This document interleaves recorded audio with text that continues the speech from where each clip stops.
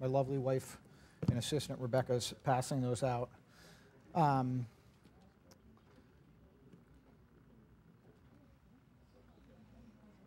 well, as you know, just like, he, just like he said, I think geographically we're the closest Grace Church to the conference. We're probably maybe 10 miles up the road. Um, little, little country church, Fox River Bible Church, um, and, which was formerly a Baptist church. We're a Grace Church now.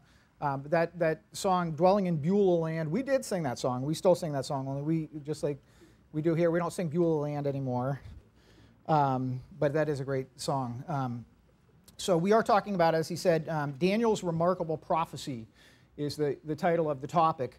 Now, um, for what it's worth, Daniel actually has, needless to say, several remarkable prophecies um, in the book of Daniel. But specifically, we're talking about a prophecy that happens in Daniel chapter 9 and really, what this is, it has to do with, again, the 70 weeks of Daniel.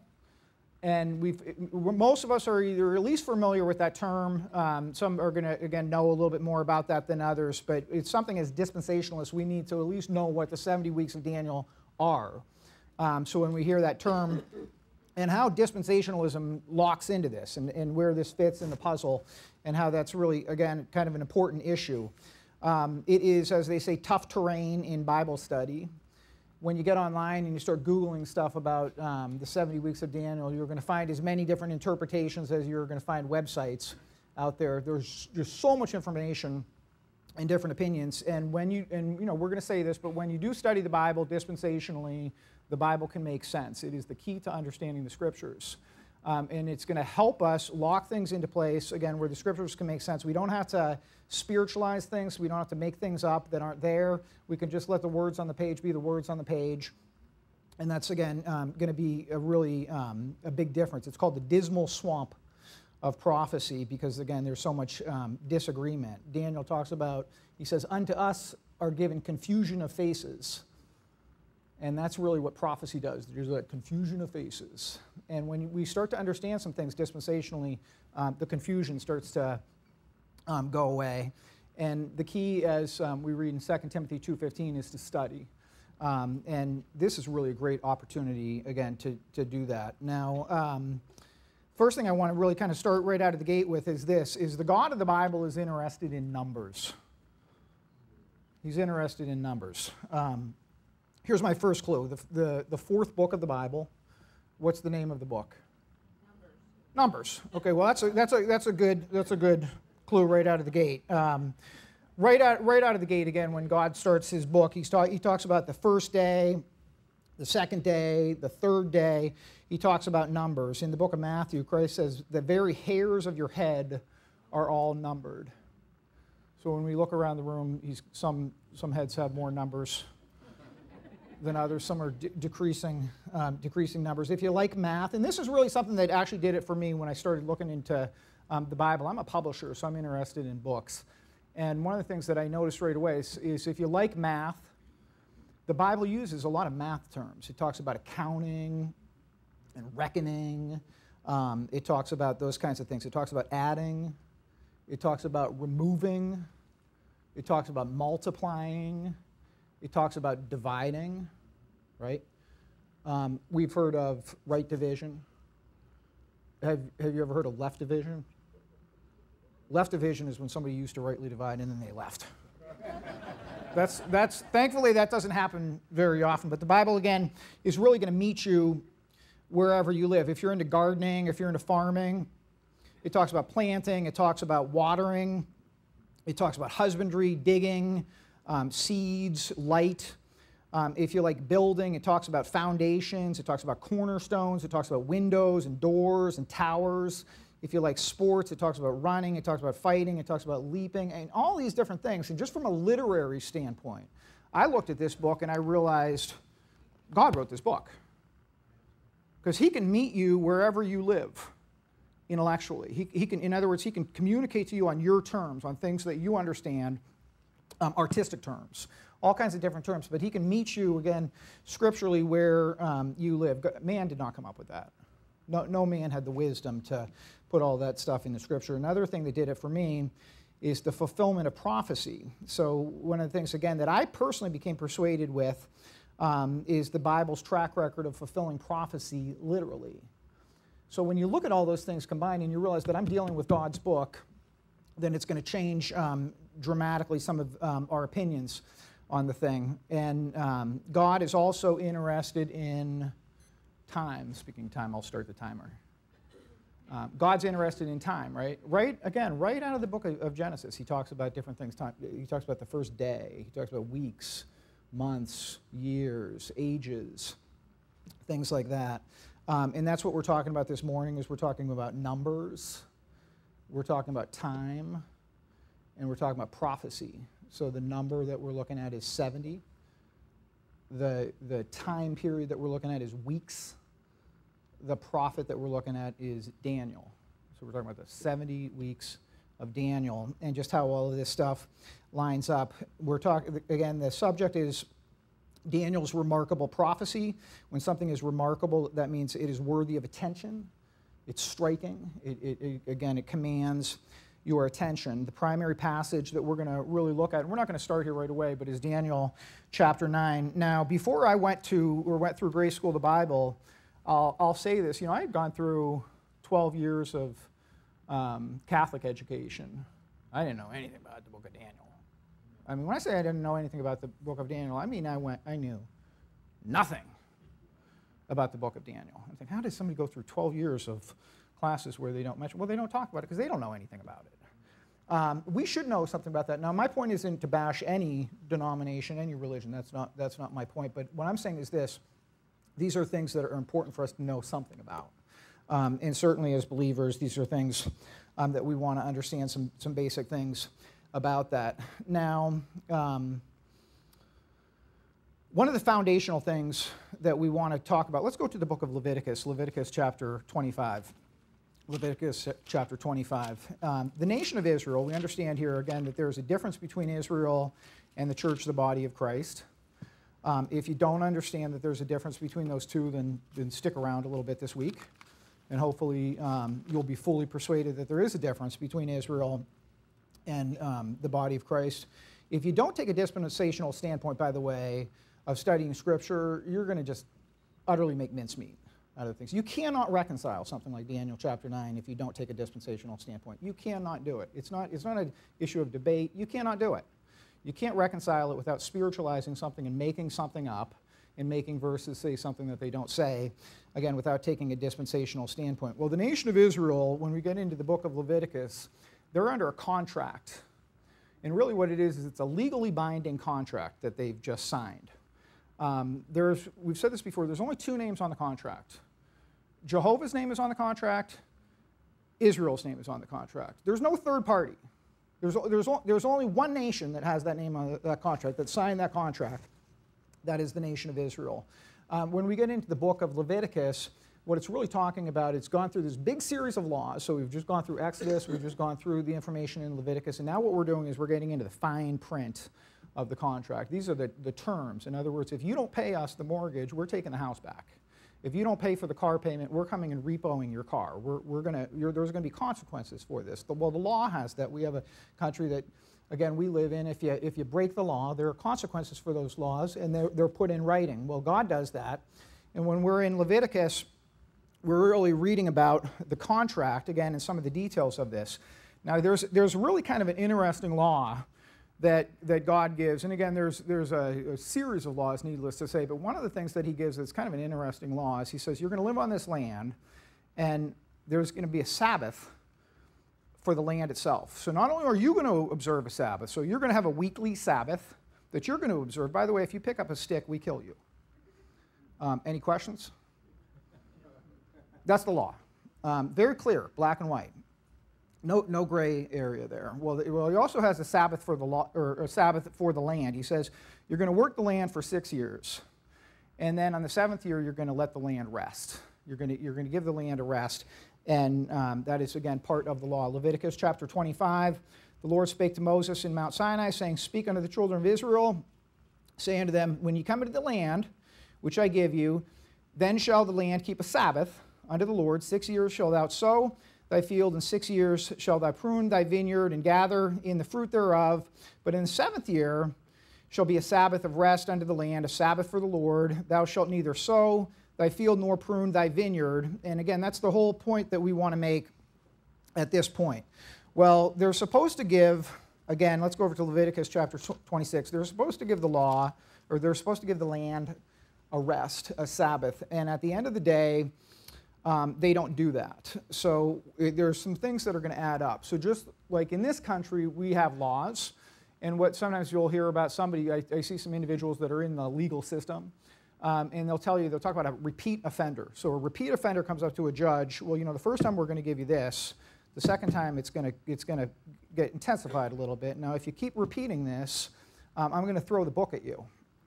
And God essentially does that. So, but again, He's put this in writing so they understand the terms of this and, and some of the consequences that are going to go along with this. Well, Israel end up, ends up becoming, again, a repeat offender. Leviticus chapter 26, we'll read in verse 34 Then shall the land enjoy her Sabbaths as long as it lie desolate, and ye be in your enemy's land. Even then shall the land rest and enjoy her Sabbaths. Now let's um, skip down to verse 43. The land also shall be left of them and shall enjoy her Sabbath while she lie desolate without them, and they shall accept the punishment of their iniquity, because even because they despise my judgments and because their soul abhorred my statutes. So basically, what God is saying at this point um, if you don't give the land a Sabbath, I'm going to get you off of the land, and then the land's going to get rest without you on it so there, there's no option at this point. I'll, I'll, just, I'll just remove you from the land, and if that's what I have to do to give the land a rest, then that's what we're gonna that's what we're gonna do. And I have that built right into the law. So again, they can they can understand this, and it's very clear to them. So let's go to the book of Second Chronicles, and we're gonna go to the tail end of Second Chronicles. The tail end of Second Chronicles. Now, of course, we're um, much down the road. And like we said, they, they end up becoming a repeat offender. And this is just one of the things that they don't do. God's, God's biggest thing, by the way, is idolatry. Don't you dare worship another God. Don't you do that. Well, that's something they're going to they're to repetitively do, and that's really the, the ultimate um, consequences that they're going to have for this. Now, when we're at the tail end again of Second Chronicles, we'll read Second Chronicles chapter 36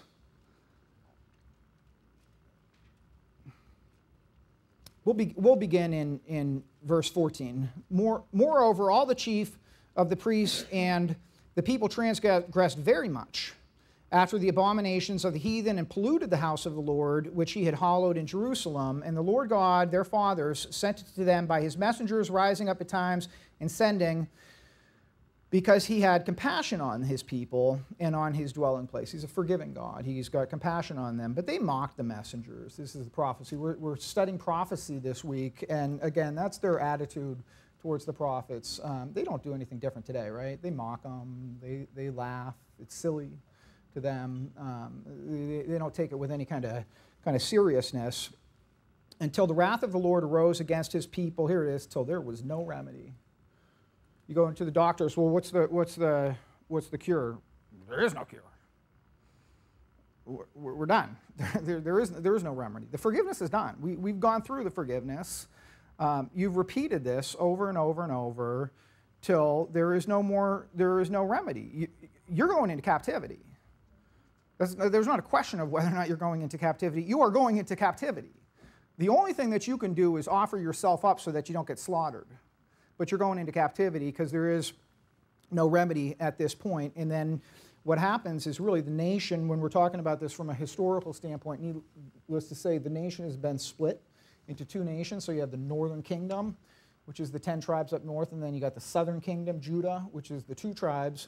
Now they're representatives of all the nations down in Judah, but Judah is really the one at this point that we're reading about that goes into captivity in Babylon. God is the one that strengthens Nebuchadnezzar. He says, You're my servant. I'm going to strengthen you. Now I want you to get him out of my land. So Neb, Neb says, You're coming with me.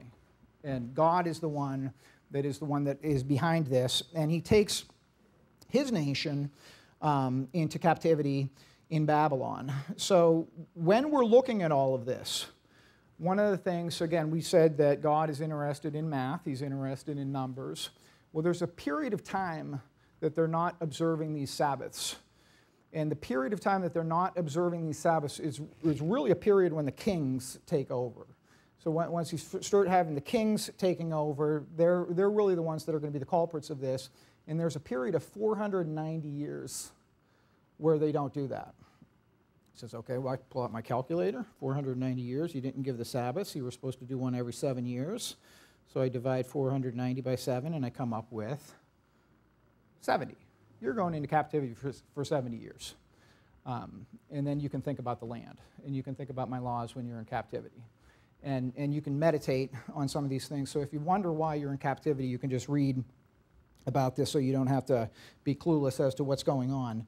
Um, Jerusalem is left desolate.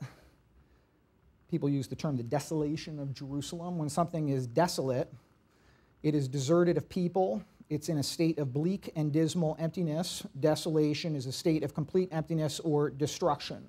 Now, you think about it, it's really not that long before where Solomon has a kingdom and the queen can come up and look at the kingdom and say, This is mind blowing how powerful this kingdom is. I heard about this kingdom. I heard it was a good kingdom. I heard, I heard you had wealth. I heard you had military power. But nobody told me that it was like this. This is jaw droppingly amazing. A few centuries later, now somebody can go into the land and go, Where'd everybody go? What, what, what happened to the kingdom? You, you, you, see, you see a ghost town. Where, I'm astonished now because there's nothing around. What happened to this this nation Israel. What, what, what happened? Well, they're in captivity. That's what happened to them. And it's all because of a legal thing. Bab- Babylon, again, is where they're taken into captivity. Now, in Daniel, let's go to the book of Jeremiah real quick. Jeremiah is essentially, uh, Jeremiah 25, he is essentially a contemporary of Daniel, Jeremiah, Jeremiah chapter 25. Um, when Daniel is taken into captivity, he was really just a, a teenager and he goes in. There's three waves that the captivity goes in over to Babylon. Daniel is taken in that first wave. He may have been from the royal family. Um, maybe he was given a, a, place of privilege. And, and so now he's, he's, he's really being raised, again, in a place of um, privilege that we read about in the, in the book of Daniel. But he has access to the book of Jeremiah. Jeremiah is not a very old book at this point, but Daniel obviously has access to it, so he has some kind of privilege, and he also has access to the law. So he has access to God's Word, and he can study these things and he can learn from books the same way that you and I are here today, and we're learning from books about what's, go- what's going on in the universe. Daniel has that um, privilege of doing that, and he is a Bible student, so he does just that. So I, I'm reading in Jeremiah chapter 25, and we'll read down through. The word that came to Jeremiah concerning all the people of Judah in the fourth year of Jehoiakim, the son of Josiah, king of Judah. That was the first year of Nebuchadnezzar, king of Babylon, the which Jeremiah the prophet spake unto all the people of Judah and to the inhabitants of Jerusalem, saying, From the thirteenth year of Josiah, the son of Amon, king of Judah, even unto this day, that is the three and twentieth year, the word of the Lord hath come unto me, and I have spoken unto you rising early and speaking but ye've not hearkened. And the Lord had sent, has sent you all his servants, the prophets, rising early and sending them, but ye've not hearkened, nor inclined your ear to hear. They said, Turn ye again now, every one from his evil way, from the evil of your doings, and dwell in the land that the Lord hath given unto you and your fathers forever. And go not after other gods to serve them and worship them, and provoke me not to anger with the works of your hands, and I will do no hurt. Ye have not hearkened unto me, saith the Lord, that ye might provoke me to anger with the works of your hands to your own hurt.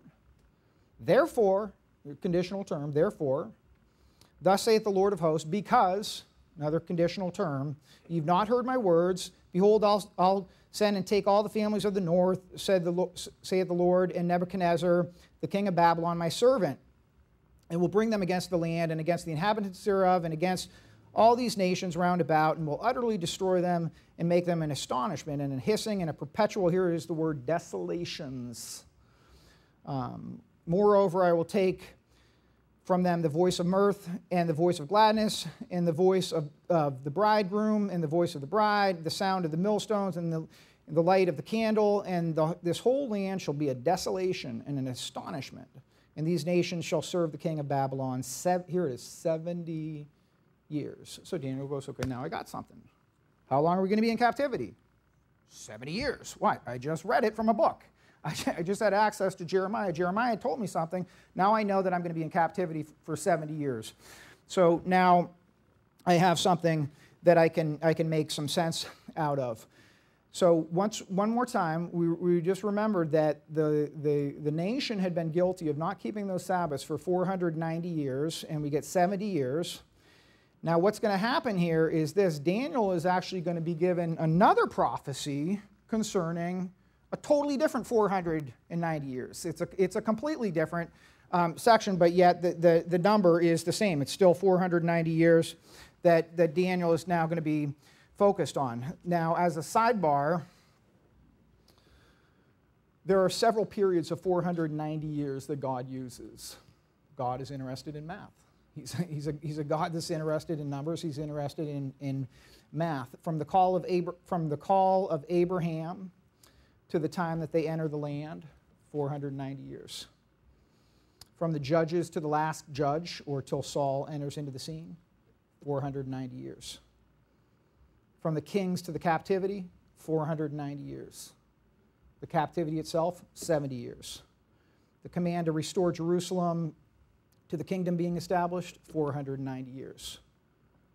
God wrote this book. Man didn't come up with that. God wrote that. So when we, under, when we understand the wisdom that's behind some of the things, no human brain came up with that. Um, that that's, that's something that, that God came up with. Um, Peter says to Christ, you know, if I forgive somebody, how many times should I forgive him? Seven times? Seven times 70. What's that? 490.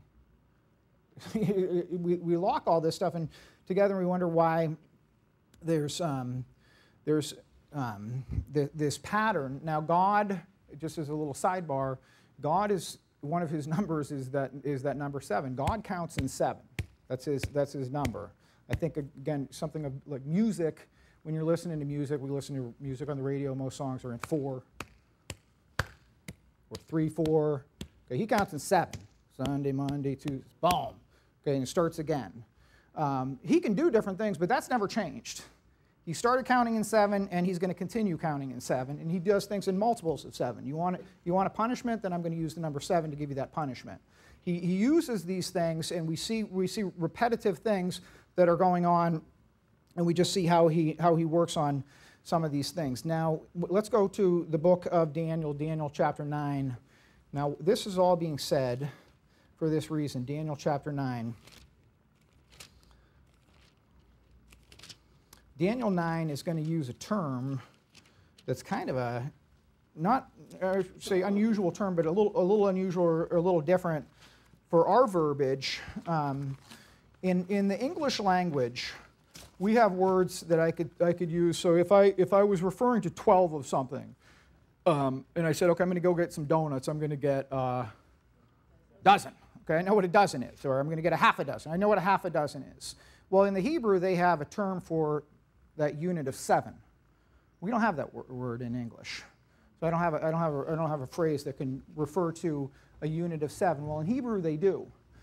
And so it's going to be something that they're, they're going to be familiar with. Well, the King James translators, what they did, correctly so, is they used the term week. Now, it's also used in other places in, in Scripture, so it's not that they're grabbing at straws. Scripture uses that term week. When you and I think of a week, we think of Sunday through Saturday, and that's what, that's what a week is. A week is seven to them. So I can have a week of days. I can have a week of weeks. A week of weeks would just be seven weeks. I could have a week of months. I could have a week of years, which would just be seven years. So scripture is going to use this kind of terminology in other places, so I just want to be familiar with it. So when I read about a week, it might be referring to a week of years or a week of months or something like that. And when we're reading about the 70 weeks of Daniel, we're not reading about 70 weeks Sunday through Saturday. or, or a certain period of time. What we're reading about is we're reading about 70 weeks of years. So that unit of seven years. Is, well, there's going to be 70 units like that. So I'm going to take seven years, and I'm going to do that 70 times. Well, if I have to repeat seven years 70 times, I come up with 490. So that's, that's, where, that's where that number is going to come um, together and it's going to it's going to make some sense. So Daniel is now he's given a prophecy concerning these things, and what what the prophecy that Daniel is given is concerning the time frame of this kingdom being established, the time frame of Messiah coming on the scene, and the kingdom being established. So it's a, a needless to say a very profound prophecy. It's a remarkable prophecy, right? And so I can map that out and look at some of the timeline of this thing, and I can pull out a calculator. And when Messiah comes on the scene and John the Baptist is announcing him, I can say, you know, that matches up. The, the time is, is near, it's at hand, it's, it's, it's, it, it's the appropriate time frame for this thing. And I can go back into a book and study that out, and it can make some sense to me. And I can line that.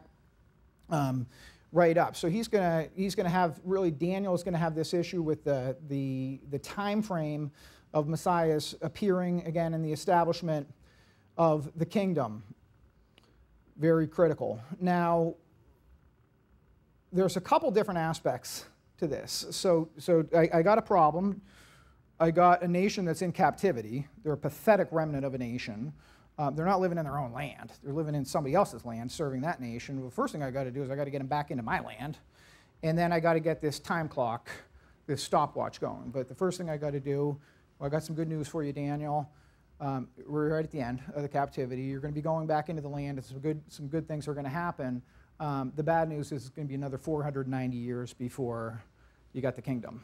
And some things are going to have to happen during, during this time frame. Some, some events are going to have to happen during this time frame. Daniel, in Daniel chapter 9, we're not going to really go through all of this, but Daniel is praying in Daniel chapter 9. Now, I want you to hold your place in Daniel chapter 9 because we don't want to miss this. And let's go all the way back to the book of Leviticus again and go to Leviticus chapter 26. Um, Leviticus chapter 26. People like to criticize the Bible, don't they? the, the higher critics, the intellectuals, they try to they try to come up with things and they say, well, yeah, that passage really shouldn't have been there, or that was interpolated, or that was added to the scriptures, or it was a forgery, those kinds of things. They, they want to use human wisdom to try to attack the Word of God. One of the things that's happening in Daniel chapter 9 is Daniel's praying.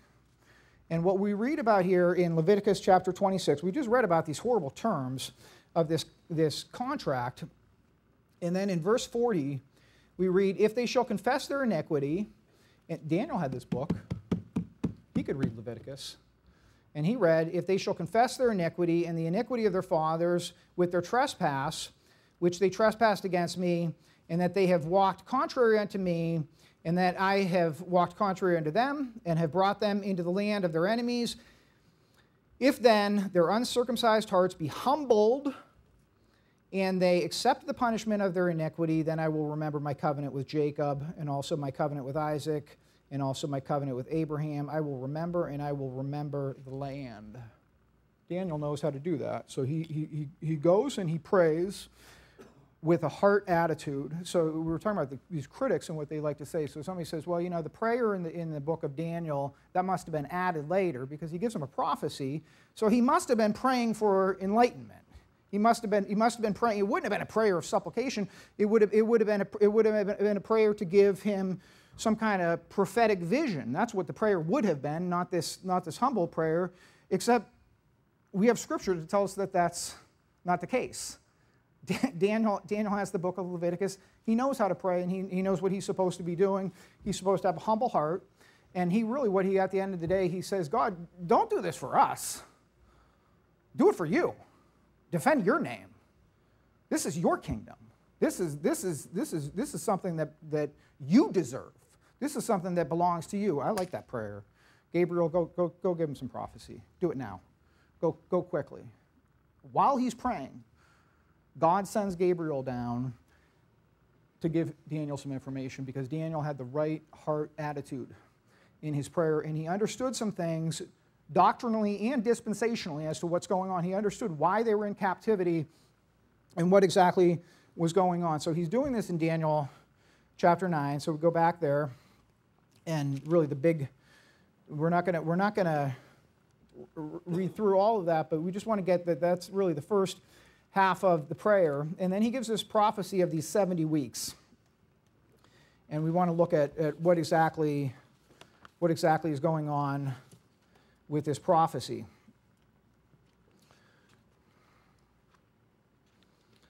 As we just said before, God really interrupts his prayer, is what, what he ends up doing. And he gives him this, this prophecy in verse, in verse 20. And whilst I was speaking and praying and confessing my sin and the sin of my people Israel, and presenting my supplication before the Lord my God for the holy mountain of my God, yea, whilst I was speaking in prayer, even the man Gabriel, whom I had seen the vision at the beginning, being caused to fly swiftly, touched me about the time of the evening oblation, and he informed me and talked with me and said, O Daniel, I am now come forth to give thee skill and understanding. At the beginning of thy supplications, the commandment came forth, and I came, and I come to show thee, for thou art greatly beloved. Therefore, understand the matter and consider the vision. By the way, God gives light to people who have a right heart attitude, doesn't He? Isn't that interesting? You know, when, you, when your heart's in the right place, doesn't, isn't that what happens? God ends up giving you a little bit of light on something. It's just the pattern. It's just, it's just, it's just the way that it works. And, and, and you respond positively to that light, and He gives you a little bit more light. It's just the way that it works. And He's certainly doing this with Daniel, and He gives them, He gives him this prophecy 70 weeks, verse 24 70 weeks are determined upon thy people and upon thy holy city to finish the transgression, to make an end of sin and to make reconciliation for iniquity, and to bring in everlasting righteousness, and to seal up the vision and prophecy, and to anoint the most holy. So, so what exactly is going on? Why are, why are, why are these 490 years happen? Well, I got a reason. I got six reasons. He's, and, and he lays out what these six reasons are. He says, this is, this is why this is happening. This is why, this is why we're, we're going to do this. And we're going to, we're going to just start with that. And then he says in verse 25, Know therefore and understand that from the going forth of the commandment, to restore and build Jerusalem unto the Messiah the Prince shall be seven weeks, and threescore and two weeks the street shall be built again, and the wall even in troublous times. So that's the, that's the, the first part. Verse 26 And after threescore and two weeks shall Messiah be cut off, but not for himself, and the people of the prince that shall come shall destroy the city and the sanctuary, and the end thereof shall be with a flood. And unto the end of the war desolations are determined, and he shall confirm the covenant with many for one week, and in the midst of the week he shall cause sacrifice and the oblation to cease, and for the overspreading of abominations he shall make it desolate, even until the consummation, and that determined shall be poured upon the desolate. Ton of information there. Ton, ton of information dispensationally. So this isn't just a little snippet of, of, of just when the Messiah is going to come on the scene. There's just, a, again, just a, a ton of information that's being revealed in, in this specific prophecy. Now, one more time, he gives really six reasons why this is going to happen. He says to finish the transgression. Back to verse 24.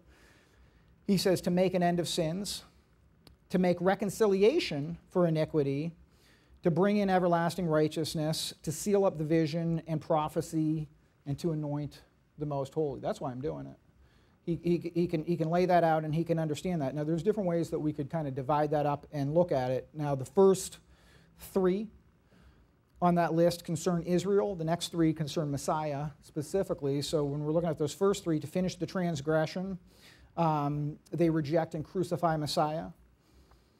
To make an end of sins, to fill up the sins of the nation are going to are to are to come to an end to make reconciliation for iniquity, to pay restitution. That has to do with, we're, and we're not going to get into all this, but that has to do with the Day of Atonement. There's a, there's a, there's a restitution that goes on between God and the nation of Israel. And the next three concern Messiah to bring in everlasting righteousness.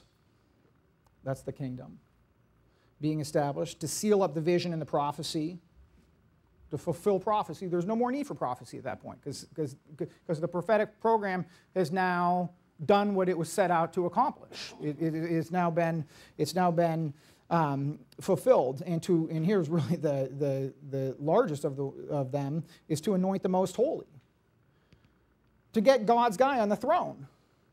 That's the, that's the whole purpose of everything that we've been reading about from the book of Genesis. That, that's the whole purpose of everything to establish this kingdom, that God is going to reign on planet Earth. He is going to establish a kingdom, and through that kingdom, He is now going to have His dominion over the planet, and He's going to do that through the nation of Israel.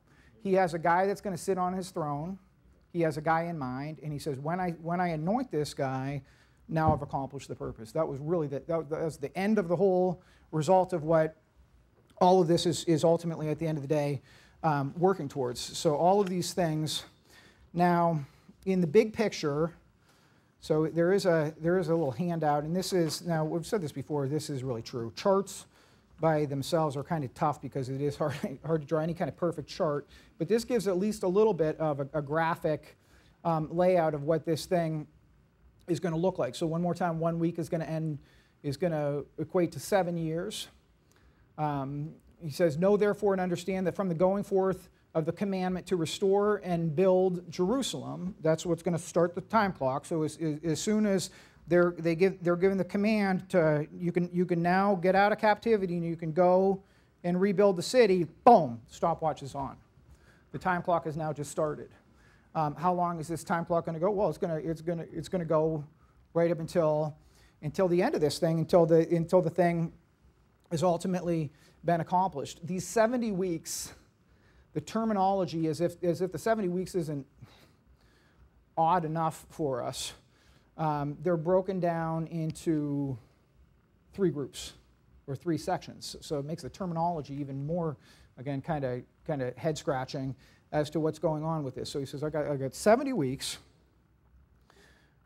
of years, and I'm to I'm going to break them down mathematically the, the first week of, of again, that, that we're going to we're, we're gonna look at this, or, the, or, or the, the first, I should say, the first seven weeks are now going to be a unit. And then there's going to be a unit of 62 weeks. So I start with seven weeks, and then I have add 62 weeks on top of that. Now I have 69 weeks. I got one week left. And then I got 70 weeks. So sometimes, when, not sometimes, but in Bible study, we'll refer to the 70 weeks of Daniel. That's referring to the whole thing. Sometimes we might just refer to the 70th week of Daniel. That's talking about that last week. Um, very similar terms, but we just want to understand the difference there. The 70th week is, is referring to that last week. The 70 weeks is, is dealing with this whole issue. So the first seven weeks, we'll read that through one more time. He says, um, from the going forth of the commandment to restore and build Jerusalem unto the Messiah the Prince shall be seven weeks and three score and two weeks. The street shall be built again, and the wall even in troublous times. So the first seven weeks, that equates to 49 years. So there's a period of 49 years where they're rebuilding the temple and they're rebuilding the city. Well, why does it take 49 years? Well, um, go, go on I-90, how long does it take to build a, um, anyway, that's a, that's a sidebar. We still take 49 years to build something, right? Um, well, they're going to run into some problems when, when they get there. So it's going to it's to end up taking them 49 years to, to ultimately get this thing together. And then there's going to be another 62 weeks. And then what happens is there's a, there's a phrase that's used that, that says after the 62 weeks, after three score and two weeks, verse 26, shall Messiah be cut off, but not for himself and the people of. The, okay, so now and then there's a and then there's a colon. So after the 62 weeks, I can figure that out on a calculator. Messiah is going to be cut off. So now I've just learned some things. That word after means something. So what that tells me is the Messiah is not going to be cut off during these 62 weeks. He's going to be cut off after these 62 weeks and then God is going to accomplish some things. So I just want to line this up. And what this is going to do, uh, the Bible frequently will do this, is it makes it even more confusing. So now, now instead of lining this up, and it's going to require that much more study and that much more, again, confusion that is going to come along with this. And what ends up happening is there ends up being a gap in time, or we'd say a delay. People talk about the delay principle, um, those kinds of things. David Reed is going to talk about the delay principle. I think maybe that's his topic. I would advise everybody to go to that. Um, and, and just th- that, that idea, but the idea is this, is God reserves the right to delay things. He can do things on his time. He can, again, he can, he's the one that can do the time frame and say, I'm gonna, I'm gonna go work on something. Sometimes you might do that. Maybe you're out in the yard and you're working on something, and then you, you put it down, and then you go, you work on something else, and then you come back to working on what you were working on. A guy's working on something and his wife is nagging him. He says, Honey, I'm going to finish this thing. You don't need to tell me every year. God, God, God, is, God, is, God is finishing this thing and he's doing it in his time. He can come back and he can do this thing in his time frame. That's exactly what he does. So there's really what there is is to add to this confusion, there's a gap within this prophecy. Now, that gap has nothing to do with the age of grace. The age of grace is a mystery, the age of grace is a secret kept hid in God. That gap would be there with or without the age of grace. So that's one thing that we want to, we're just looking at Israel's prophetic program. So we want to say, well, that gap must be the age of grace. That gap is not the age of grace. There is a gap, and there are some things that are, have to happen during that gap. One of the things that has to happen is the Antichrist needs to actually start building up and coming onto the scene. So there's different things that are going to happen during this little gap period where, where Israel is really in the 70th week. And there's a, there's a time frame that has now kind of delayed the game, if you will. Now, we said this one time, is that God will sometimes do things where if you're not confused enough, then something else will get added to it. And which is okay because that, again, requires study. So I already have this gap, and now what he does is he takes something that is another gap, that is the age of grace, and says, okay, now I'm going to insert this gap inside the other gap. And now it's really going to delay some things. Well, we're here in 2018. So now it's just push back everything that much further. He says, you know, I'm going to work on this. I'm working on something. I'm not stopping what I'm working on. Covenant theology will tell you that. I stopped working on this and I'm going to start working. I'm going to now make, make I'm going to change Israel into the body of Christ and they're going to be one and the same. Uh, that's not what God said. God said, I'm working on Israel. I made some promises to Abraham. I made some promises to Isaac. I made some promises to Jacob. I'm going to keep good on my promises in my time. Hang on, I'm going to do something. I'm going to build something spectacular called the church, the body of Christ. I have a purpose for that thing. When that thing is fulfilled and I've done what I want to accomplish with the church, of the body of Christ, I'm going to come back and we're going to get back to business with my nation so that I will have dominion on planet Earth. I will establish my kingdom and I will reign over the Gentiles. That is going to happen. It's not a question, that will happen. But I'm going to do it in my time frame. So all of this stuff, what we just want to understand there, if nothing else, is just that that stuff is getting pushed back, if you will. There's a, there's, um, there, there's, a, there's a pushing back of this, this prophecy. So now we just said, so we're right, we're right at that, that colon there. So we're back in, in reading in Daniel chapter 9. We read, After three score and two weeks shall Messiah be cut off, but not for himself. And then something, now we're all of a sudden in a time frame that is future tense and referring to some completely different things that are happening. And, and now all of a sudden we've, we've jumped ahead, well, at least a couple thousand years, um, conceivably further than that. And the people of the prince, now this prince that's being referred to is the Antichrist. And the people of the prince that shall come shall destroy the city and the sanctuary, and the end thereof shall be with a flood, a flood of attack, and unto the end the war, desolations, unto the end of the war, desolations are determined. So, so what's happening now? We're, we're reading about a time period that is this 70th week of Daniel. So some things are going to happen. Um, and the other places in Scripture are going to obviously line up with this. So some things are going to now start happening concerning the Antichrist and concerning the nation of Israel. He comes on the scene. Um, Israel is essentially going to be under attack. There's going to be, there's going to be other nations that are threatening them. And the Antichrist comes in, and what he does is, in, in, instead of just flexing his muscles, what he does is he's a salesman. And he flatters them. Come, come join me. We'll, we'll, we'll, have a, we'll have a contract. Trust me, I'll protect you. Um, these other nations are going to attack you. Let me, let me be your protection. Um, sign the contract, sign, sign, the, sign the covenant. And of course, they end up doing just that. I'll rebuild the temple for you. I'll reinstitute animal sacrifices because that's what you want, right? You want, you want the animal sacrifices. You want to worship God the way that your fathers did back in the Old Testament. I'm going to help you do that. Um, and we're going to reinstitute these animal sacrifices in the temple. In the middle of the week, so again, we're reading a seven year period of time, broken up between three and a half years and then three and a half years. In the middle of the week, Antichrist is going to break this covenant. He's going to take those sacrifices out of the scene. And one of, we've said this before, and it's really true, one of the spookiest things in all of Scripture, Antichrist is actually going to die Satan himself is, well, you know he wants to be like the Most High, right? That's his goal. So if, if, if God goes right, Satan wants to go right. If God has a priest, Satan wants to have a priest. If God says this, well, Satan wants to do this. He likes to be like the Most High. He wants to be worshiped like the Most High. That's, that's his MO. So if God does something, I want to do something. So if God dies and he, he's raised from the ground, I want to die and be raised from the ground. So now what I'm going to do is I'm going to be the Antichrist raised from the ground, resurrected. And so you know that Christ that they've been worshiping all along, he was a fraud. I'm the real deal.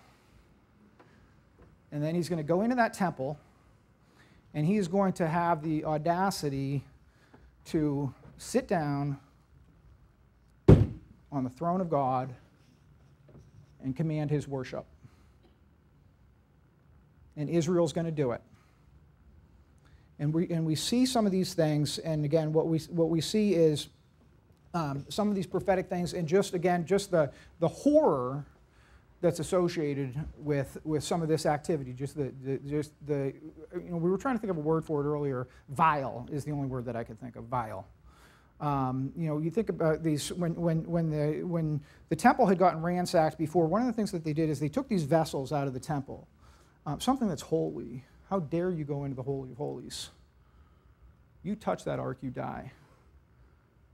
And then you got some Gentile pig king going in, ransacking these vessels, taking them into his palace, doing what he will with them.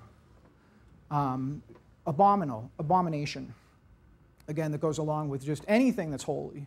And, and God is, and this is all stuff that has now taken place during the 70th week of Daniel. Things are going to heat up. So when we talked about this legal contract in the book of Leviticus, um, it's not light.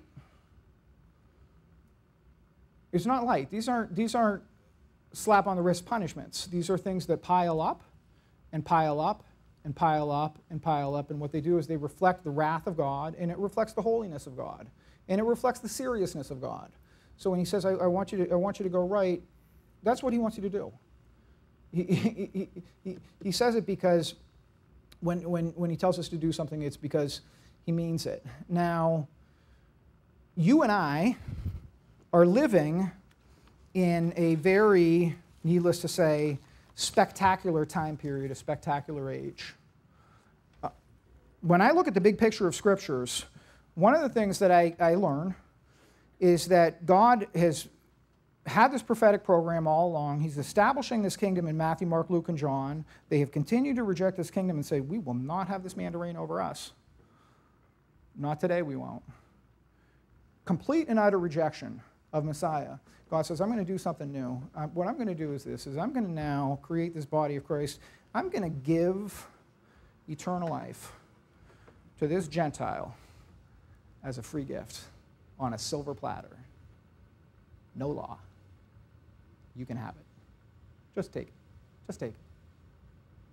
I'm going to commission my man the Apostle Paul, and he's going to now reveal this information to planet Earth that an individual, Jew or Gentile, is now saved by grace through faith.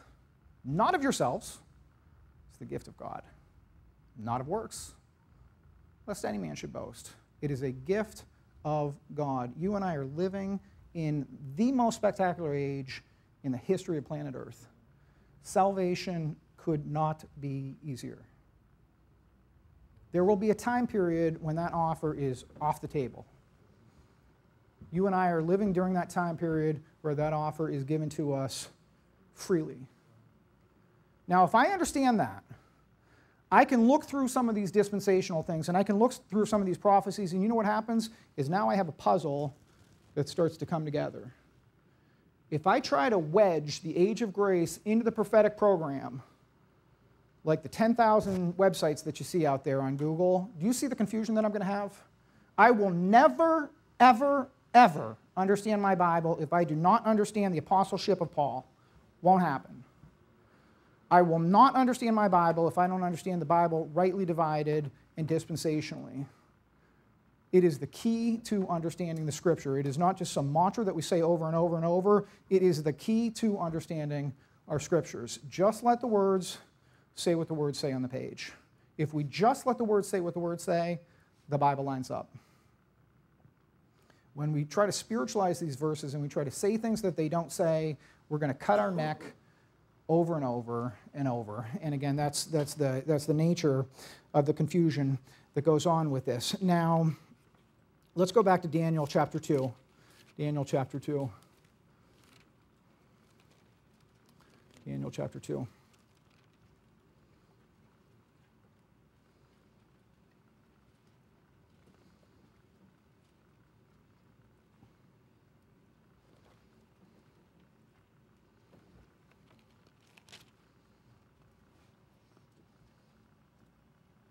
We'll, we'll read verse 44.